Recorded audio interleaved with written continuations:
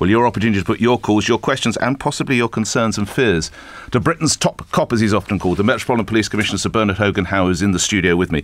Sir Bernard, you're a very busy man. Thank you for finding time to come in and take calls for, for half an hour with me. And I'd like to start with that question. It was within the last few weeks that you told a number of MPs £800 million worth of cuts, Commissioner, possibly 5,000 officers. You also made the point that this would damage neighbourhood policing, which I don't need to tell you, but to explain to my listeners, that's where your men and women get to know what's going on in certain communities. How are you going to cope?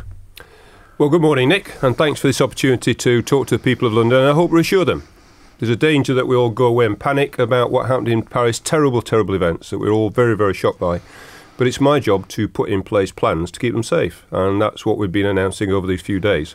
So the first thing I've done is to uh, order that there will be more firearms officers available every day on the streets. We have armed response vehicles. I'm not going to say how many for reasons that are obvious.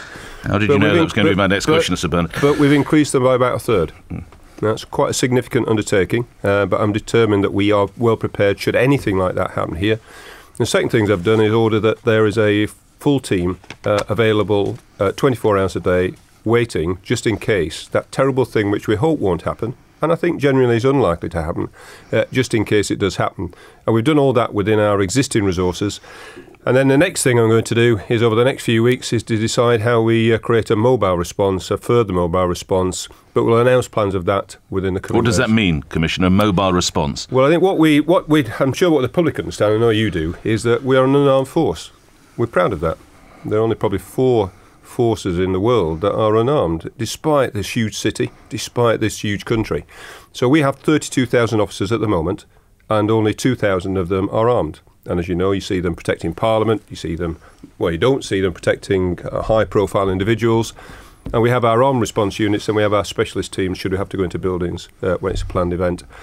But I think what Paris showed us with so many attackers, with so many scenes moving around at speed, we need to have a, a mobile reserve. I've got a good idea how that can be achieved, and over the next few weeks, as I've worked all that detail out, uh, we will be announcing it. It won't necessarily need more resources, but it will mean that some of our officers have to have another skill.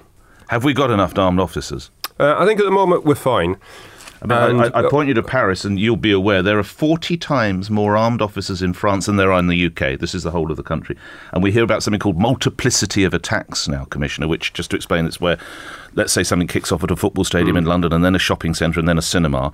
Have you got enough men and women with guns? I believe we have at the moment, and so therefore people should be reassured by that. But what I've said is that, you know, what I've just explained to you is that we're working up plans now so that in a short period of time we've got an extra, I would think, probably about another third on top of the core provision. So what I've said to you already, the arm response vehicle element, we're increasing by a third straight away. But then the overall pool, uh, I want to increase probably by a third overall, and also at any one time on duty, probably double. So these are the sort of things which I think are reasonable response because what we don't want to do, surely, is we don't want to knee jerk towards a new type of policing where everybody's armed. I don't think anybody's arguing for that.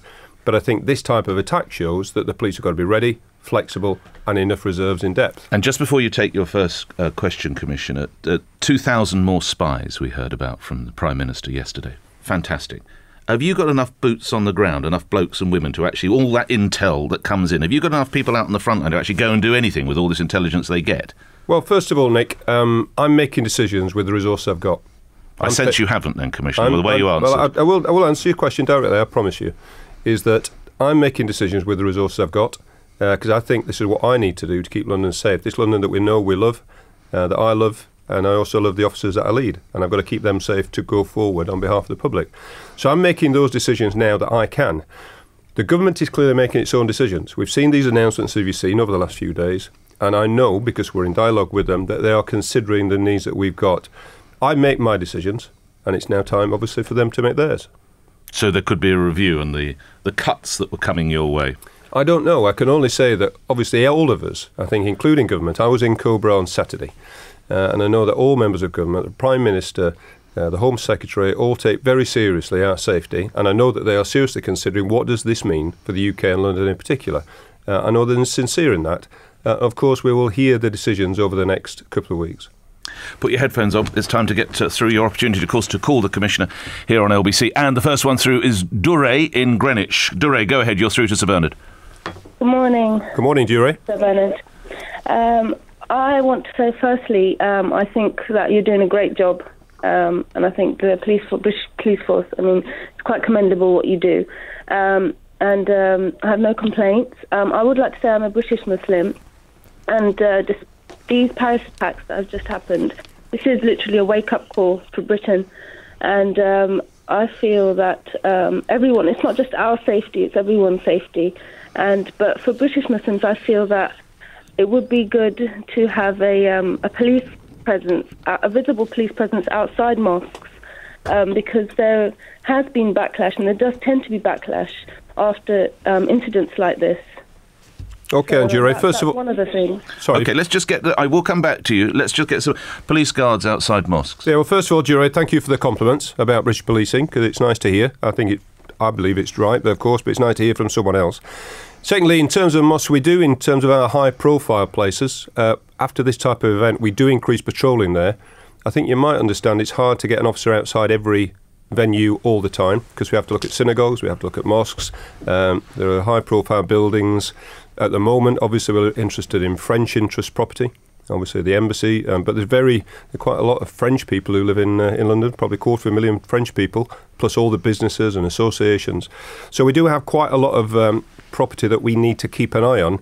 Some we keep officers outside all the time, and the rest we increase our patrolling. So I hope you do see more patrolling at the mosques. Difficult at times to keep an officer there all the time. Duray, you wanted if you can keep it brief. If there's another question, please. Yes. No, I did. I um. I just. I want to just add one more thing that Yes. um. I think that um. Police do need to be armed. I mean, what's happened in Paris is a wake-up call, and I think it's not just about increasing some armed officers. I think all the police need to be armed, and I think the government needs to give the priority to the police in this regard. You know, if, if they're getting cuts, they shouldn't be getting cuts. It should be priority Would- for the police. J- just briefly, they're the D- ones Duray, you would be happy for every officer in London to be armed, would you, Yes. Commissioner? I think, Jure, one thing we've all got to keep an eye on. You know, when politicians, and to be fair, people like me say that, you know, we don't want to lose our way of life just because of what these terrorists do. This is just one aspect of it. So we've got to be really careful that we don't overreact and give these people the very thing that they want. So that if we arm all our police, when generally we wouldn't do that, we've been we've got a great tradition, and we've all believed that policing by consent means that an officer can go into the middle of Leicester Square, carry out their job, enforce the law. They don't have to have a gun. Why would we throw that away just because of some of these horrible people who've done such a terrible thing? So I think if that does ever come, and I hope, you know, please God it doesn't come, but if it ever does come, I don't think it should be on the back of one awful event. We've got to think very carefully about these things. But I think what we should do, which is what I've said to Nick already, is that we should think clearly about having more officers, better equipped, more available. Let's talk a little bit, Duray, thank you. Let's talk a little bit about the equipment, Commissioner. You, you may have had sight of an article in one of the newspapers today, the Daily Mail, by Kevin Hurley. He was head of counter-terrorism with the City of London Police, DCS at the Met, Territorial Army officer, now Commissioner at Surrey Police. He talks actually in quite detail about guns. He says in Paris the killers usually use an AK-47 Kalashnikov, an automatic machine gun that fires 7.62 millimeter rounds at a right rate of 500 a minute. He then makes the point that the guns that your officers are carrying are simply no match. They're the ARVs the G36C, I don't know what I'm talking about, and the AR-15 Defender. Both, he says, high-velocity, capable weapon, weapons, inadequate for combating the newest breed of terrorist. Their caliber is only 5.56 mil. They cannot be fired automatically. In a head-to-head confrontation with the Kalashnikov, the police officer will be defeated. Your guys got the wrong guns. Well, Nick, I, I know Kevin and I like him, but I think he's been foolish to talk in great detail about our capability. Um, I've not read the article, I've had an account of it. Uh, so we never talk about operational matters. And the reason I have to put this to you I now. realise I realise that, but I'm just explaining why I won't respond in detail. Um, our officers need the um, all the benefit of surprise that we can achieve. So that means we don't talk about the sort of weaponry we've got. We'll always, always review what we've got, but I'm not sure what the aim is of talking in a public. Um, To give you your blokes better guns, your blokes and women But women you better don't guns. have to sir. talk about the detail to make that point. So I don't think it's a wise thing to do. What I've said already, you know, to you and obviously we're saying to our staff, is that we are reviewing what we've got and whether or not we are fit for purpose. Now, over the next few days, I'm going to get together our firearms commanders and including the team leaders who are out there on the ground and ask them what do they think as a reflection of what we've seen in Paris, because I want to hear from them directly. Um, of course, we'll always consider whether we we need more equipment, um, but at the moment, I can't agree with Kevin having such a public debate about such an important thing. Is it true that many officers in the Met are instructed to carry only 15 rounds, although their magazines can carry 30? That's exactly the point that I will not respond to, Nick, for reasons that are, I think, you will accept obvious. Is it true that the long standing British police tactic in firearms negotiations has been, quotes, contain and negotiate, but this is latest Islamist outrage is what's known as a game changer? Well, I think, to be fair, we thought that really post 7 7 and post 9 11. Uh, we've changed our attitude drastically, really, because when the person that you are trying to arrest is prepared to commit suicide, and doesn't mind being doesn't mind dying in the process of killing other people, you've got to change your mindset. So we've already done that. Um, but it does show how difficult it is because, as you quite rightly say, people who are old enough, perhaps us, will remember back to the uh, the embassy siege, yes. where of course everybody stood off, and right at the very end, uh, the SAS went in and, and did what they had to do. But that was when we thought we could negotiate with people. Here, so, where we see, if you look in Paris, that it appears within minutes of going into that building, they started to kill people and carried on killing people. You have to intervene quickly. So that's, I'm afraid, is uh, a mindset which has been changed before Paris. But probably the problem has been emphasised by Paris. I know you're really loath, and this is the last one. But the French have, in this commissioner's view, sorry, commissioner, they have better guns. Can I take it from you that if we need better guns, they will be obtained? Of course. Zane is in Wapping. You're on the radio, Zane. Good morning. Morning, all. Um, morning, Zane. Yeah, so Good morning. Um, yeah, my view is, you know, the Paris attack and whatnot, it's just a recruitment campaign from ISIS. They're trying to just sway ordinary Muslims to flee to them. And we've seen recent cases of it happen. So what I really want to know is what are British police going to be doing in specifically tackling radicalization and whether you think it is a viable route for the police to be in direct contact with those who own mosques and run mosques just to get a better grasp of what's going on in the mosque and to ensure that the right message is being relayed to the people who attend those mosques. Well, first of all, Zane, I think what we ought to remind everybody, should they need reminding, is that 90 odd percent, 99 percent, I would say, of Muslims are good people who want to live a good life in this country and want nothing to do with this barbaric, awful behaviour. Um, so just because they happen to be Muslims and just because these terrorists are acting in, they say, in the name of Islam, uh, that doesn't mean to say that uh, we accept that. So I think we've all got to be determined to condemn uh, that sort of behaviour. Uh, secondly, we all, are already doing an awful lot. Uh, we are going into our mosques, our community officers. Nick said right at the beginning, you know, it's a broad policing tapestry. It's not just the firearms officers. It's not just the counter-terrorist officers. We've got to be out in our communities talking. And what that means is it's not just about talking. When people trust the police, when they know them enough to trust them, then what happens is they tell us stuff. They might tell us who's birdling. They might tell us where somebody who is wanted is hiding out. And they might tell us when somebody's becoming a terrorist, when somebody's become more radical in their behaviour. So we've got to have those vital links. And more and more over these last three years, now probably about two thirds of the leads that we get around terrorists are coming from the community. So that's what we do. One, to get out there and talk to people. Number two is, where we can, we put people into something called the channel process, which de radicalises or tries to de radicalise those who seem to be on that that terrible path to uh, this awful sort of behaviour. Madeline's in Edgware. You're through to the Commissioner. Go ahead, Madeline.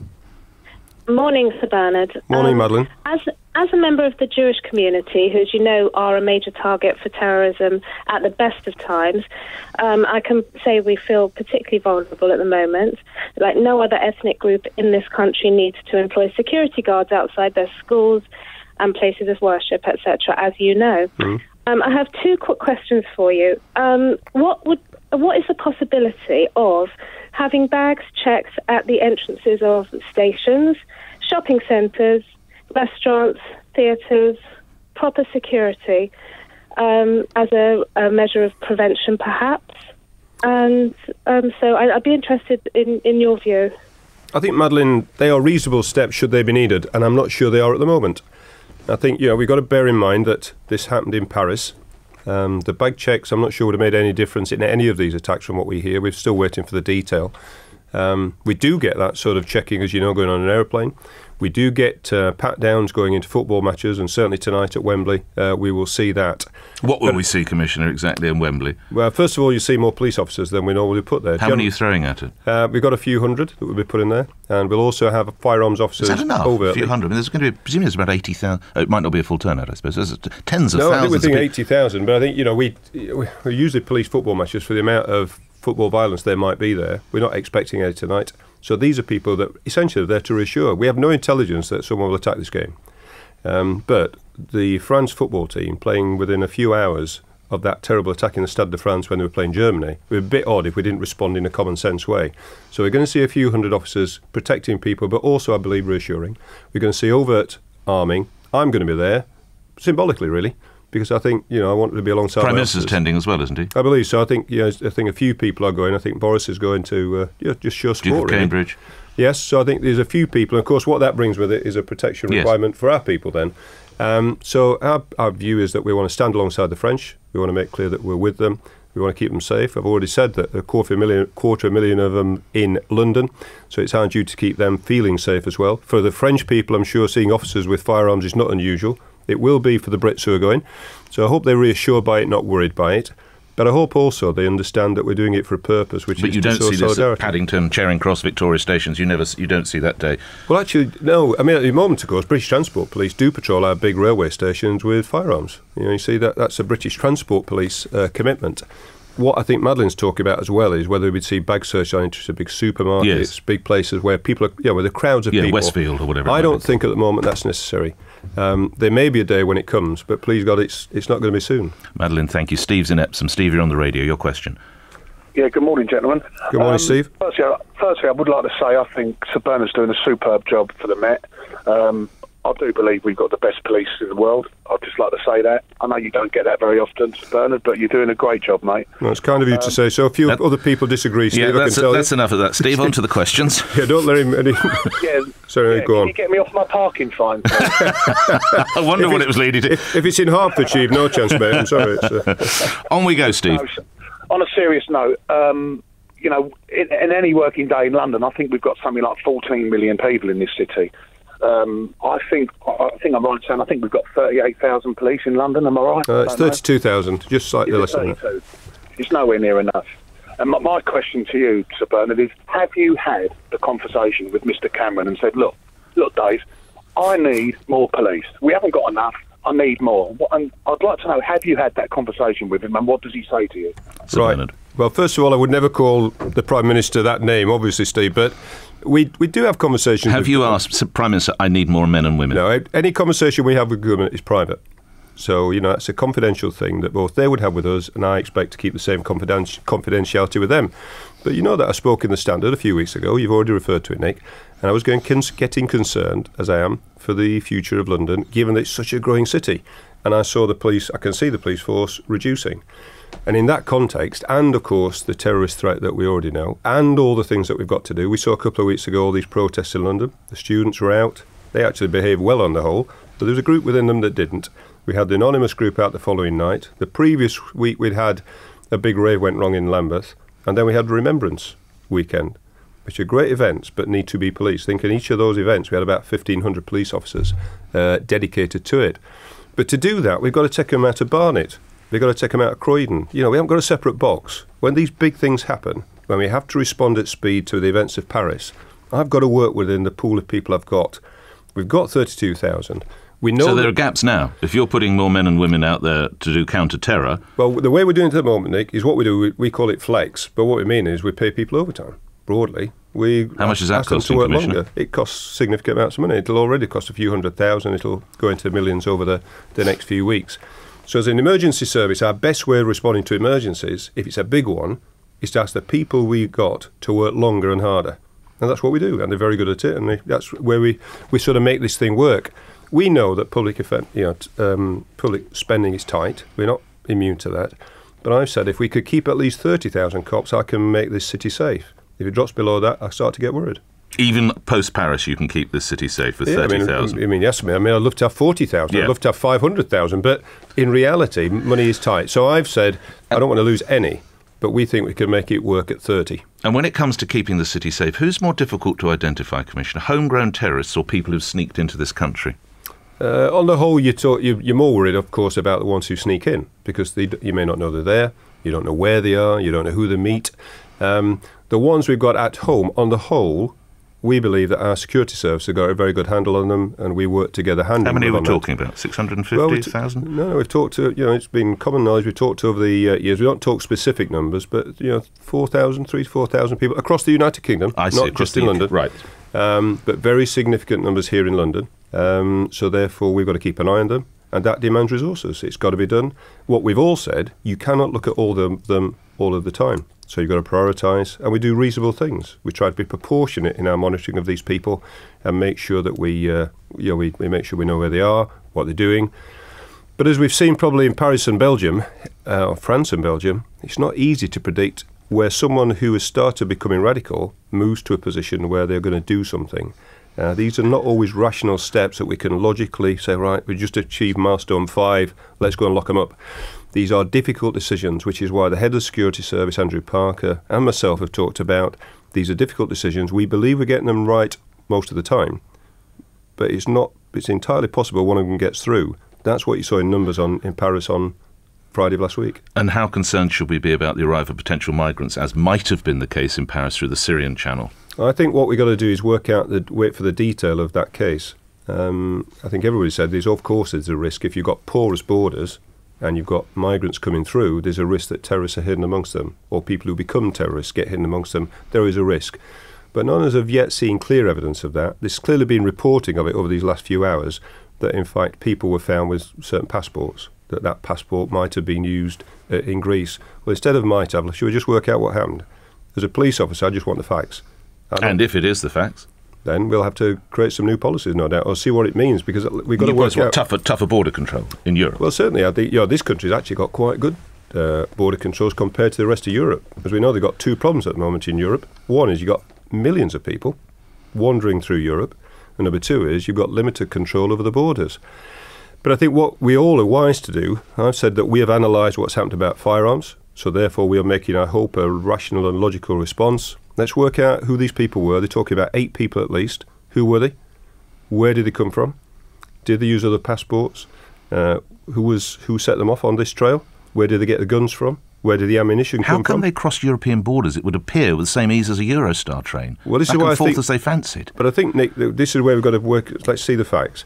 But of course, we think in the UK this is quite a hard thing to go across borders. You get into continental Europe, driving from Belgium to France is not that big a deal. You know, it's like us going from here to Scotland. You just drive over it, you don't even notice the borders there. And different countries have different. Are you a fan of the Schengen Agreement, Commissioner? That's a political thing that I'm not going to get involved in, Mr. Ferrari. Um, what I would say is we always want good, secure borders. We want to make sure that those people we want to get out, keep out, they stay out. We want to make sure that the people we want to keep here don't leave the country if, if you're a fan of borders. Crime. You're a fan of borders. You're not a fan of the Schengen Agreement, Commissioner. Uh, I'm a fan of keeping this country safe. I'm a fan, fan of making sure that, for example, like, let me just give you one quick example. If somebody commits a murder today, I want to make sure they don't leave this country so we can arrest them. And equally, if there's a murder from somewhere else, I don't want to come into this country to put in people here in danger. Good, strong borders make sure that we can assess the risk and find out who we want to leave and who we want to enter. Just before the final question from Cameron, a question from me. Uh, Jeremy Corbyn is not a fan of the shoot to kill policy. Commissioner, are you? Uh, I don't know what exactly he said, and I don't know what he means by shoot to kill. The law is this the law says that the police and anybody else can use reasonable force, and reasonable force to do one of two or three things. First of all, to stop a crime. Secondly, to arrest somebody who's putting somebody in danger. What it means generally is somebody's life's at risk police officers intervene and they know that somebody's got to be armed or otherwise so dangerous, and then we have a policy to stop them.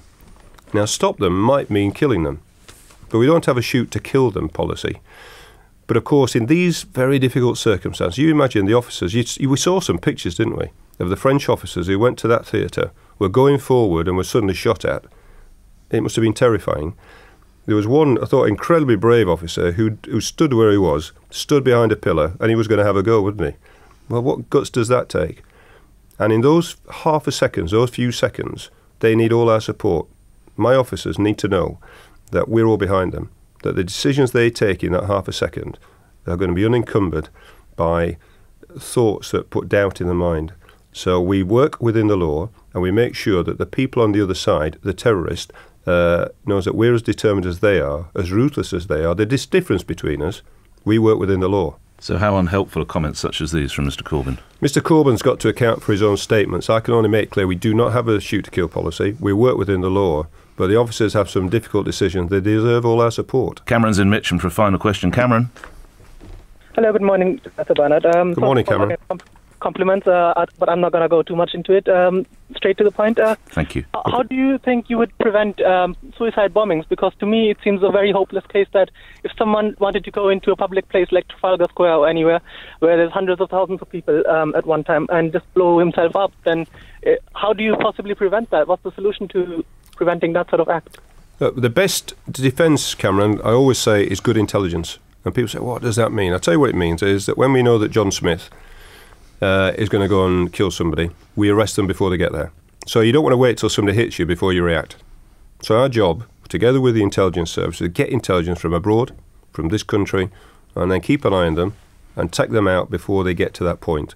So when they buy the explosives, when they're creating the explosives, when they're thinking about getting a gun or they obtain the gun, and over this last year, that's happened on seven occasions when we've intervened in different parts of the country, including London, to keep people safe. Of course, if they arrive at the scene, they've got a bomb on, and all the things that we, the terrible things we know about, it's a very difficult situation.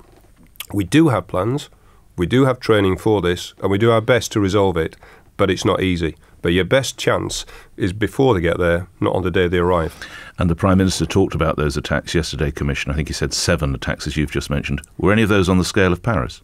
No, and I think uh, the Prime Minister confirmed that, which is that uh, they were clearly threats to life. Uh, had we not intervened, we believe that within hours or days that there would have been life lost. So these are dangerous people. This is not they're thinking about it. This is not they've got a motivation to do it. This is on the point of doing it. They've usually got hold of some material. Uh, they've got hold of weapons, uh, and officers have to go and make sure that they don't get away with it.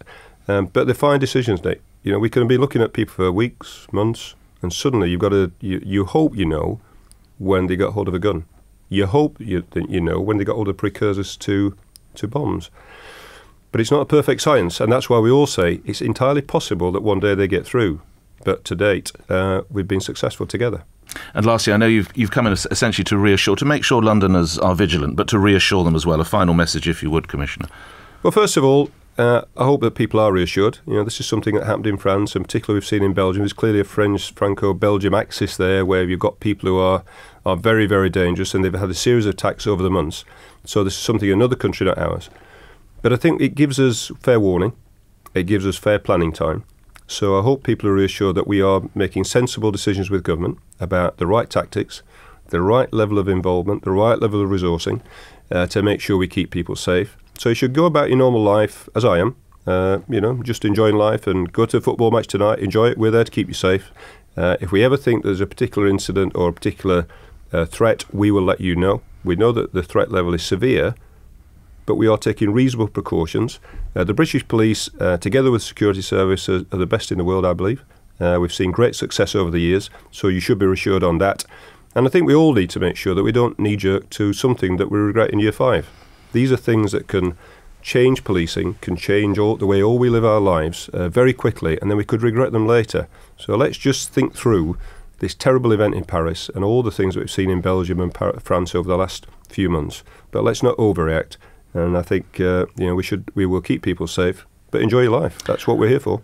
From my listeners to the men and women working with you, good luck and thank you for coming in. You've been listening to the Metropolitan Police Commissioner Sir Bernard Hogan-Howe here on LBC When News is next. Yeah, no, I, I remember when um, when Tony Blair was president in office of the European Council back at the end of 2005. Um, in a speech to him, I said, you know, why should British subsidi- uh, taxpayers subsidise a new underground system in Warsaw uh, when, frankly,